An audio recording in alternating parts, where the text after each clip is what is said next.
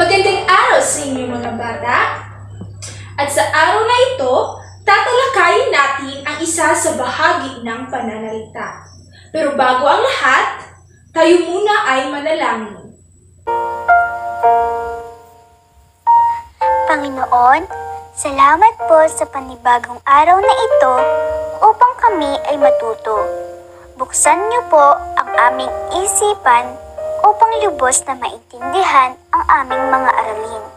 Bigyan niyo din po ang aming mga guro, mga magulang, at mga kamag-aral ng lakas ng katawan at isipan na masigit naming kailangan sa araw-araw sa panahong ito.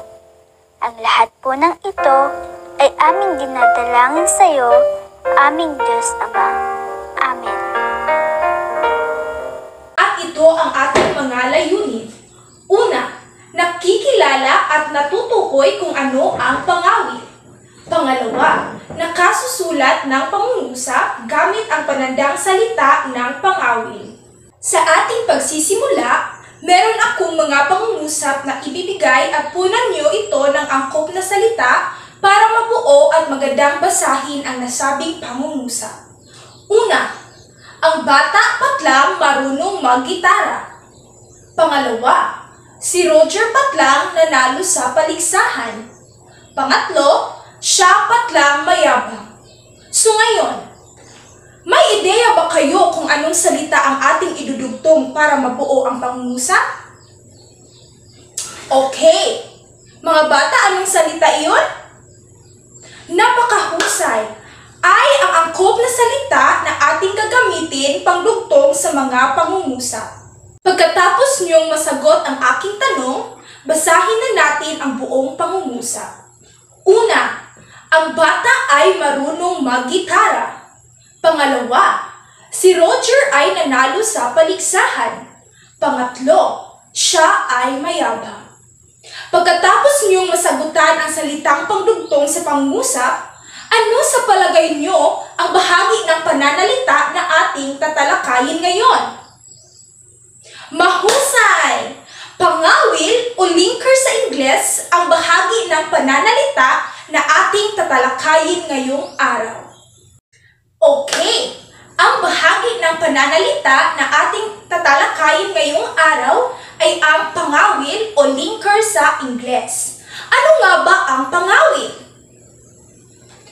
Ang pangawil ay isang bahagi ng pananalita na nagpapakilala ng ayos na mga bahagi ng pangungusap. Ito ang nagkakawin ng paksa o simuno at panaguri. Muli, ang pangawil ang siyang nagkakawing o nagdudugtong sa simuno o paksa, ang pinag-uusapan at panaguri ang ipinapahayag. Pagkatandaan ninyo mga bata na ang pangawil ay ginagamit sa pananalita upang ang nabuo nating pangungusap na ating isasalita at ma- ay mahusay at maayos pakinggan. Gayon pa man mga bata, ating alamin kung ano ang palatandaang salita na ginagamit sa pangawil. Ang palatandaang salita ng pangawil ay ay. Ang palatandaang ay, ibinabadya nito ang karaniwang ayos ng pangungusap. Una, ang panaguri sa paksa ay nilalagyan ng pagbabago. Palatandaan ito na inilipat ng posisyon ang bahaging paksa ng pangungusap. Ito ay ang pangdugtong sa mga pangungusap na di karaniwang ayos. Halimbawa, siya ay naglabas sa ilog kaninang umaga. Ang siya ay ang simuno at ang naglaba kaninang umaga ay ang panaguri. At ang palatandaang ginagamit ay ang ay. Siya ay naglaba kaninang umaga sa ilog. Pangalawang halimbawa, ang aso ay maamo sa mga bata. Ang aso ay ang sinuno at ang maamo sa bata ay ang panaguri. At ang salitang palatandaang ginagamit ay ay. Ang aso ay maamo sa mga bata. At dahil sa palatandaang ay, maganda at maayos pakinggan ang pangungusap na ating isinasalita. Naiintindihan niyo na ba kung ano ang pangawin ng mga bata? Wow! Salamat! Talagang naiintindihan niyo na kung ano ang pangawin. Ulit, ano nga ang pangawin? Ito ang nagpakilala sa ayos na pangungusap. At ang palatandaang ginagamit ay salita at napakahusay niyo naman.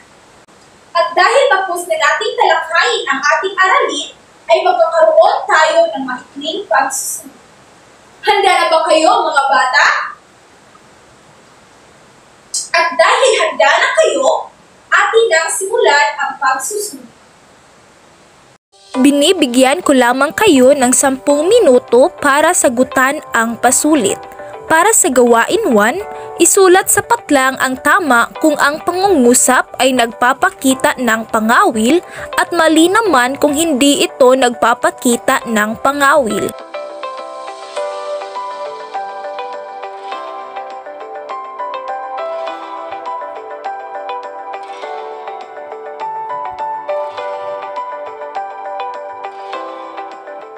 Para naman sa gawain to, ibigay nyo lamang ang tamang sagot sa mga tanong.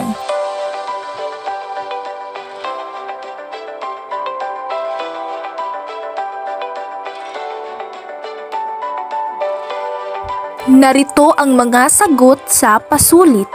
Para sa gawain 1, tama o mali. Una, ang mga Amerikano ay mayayaman. Ito ay tama. Pangalawa, sila ay naglalaro ng patentero. Ito ay tama. Pangatlo, hapon na nang umuwi si Enting. Ito ay mali. Pang-apat, mahilig sa chismis si Aling Marikit. Ito ay mali. Panglima, nakilahok sa talakayan si Penny. Ito ay mali. Pang-anim, ang mga negrito ay maiitim. Ito ay tama. Pangpito, bagong dating galing Dubai si Ado. Ito ay mali.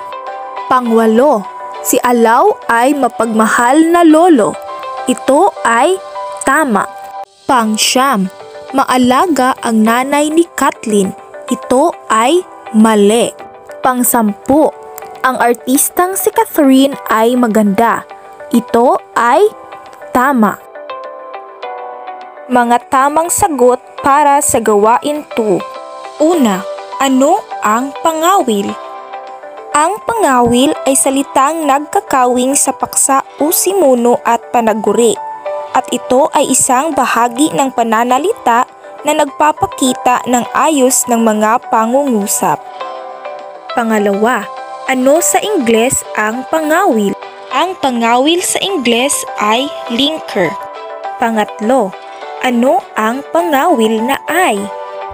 Ang pangawil na ay ay palatandaan ng ayos ng pangungusap. Ang una, panag-uri sa paksa ay nilalagyan ng pagbabago. Pasado ba lahat mga bata? Wow! Napakahusay nyo naman mga bata at nakakuha kayo ng perpekto at malaking score.